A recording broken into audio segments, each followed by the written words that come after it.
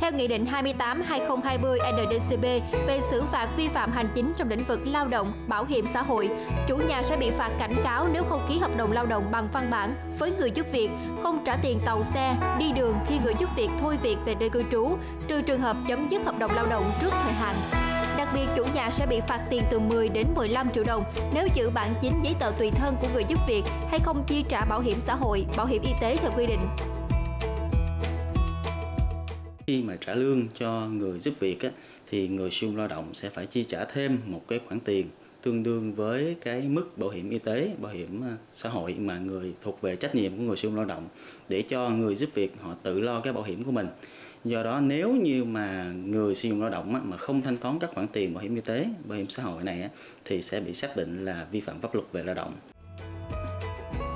Ngoài ra, mức phạt trên cũng áp dụng với hành vi sử dụng người lao động cao tuổi làm những công việc nặng nhọc, độc hại, nguy hiểm, có ảnh hưởng xấu đến sức khỏe của người lao động cao tuổi. Nghị định mới cũng quy định mức phạt từ 2 đến 5 triệu đồng khi người sử dụng lao động không đảm bảo cho lao động nghỉ trong giờ làm việc, nghỉ chuyển ca, nghỉ việc riêng hay nghỉ không hưởng lương đúng theo quy định.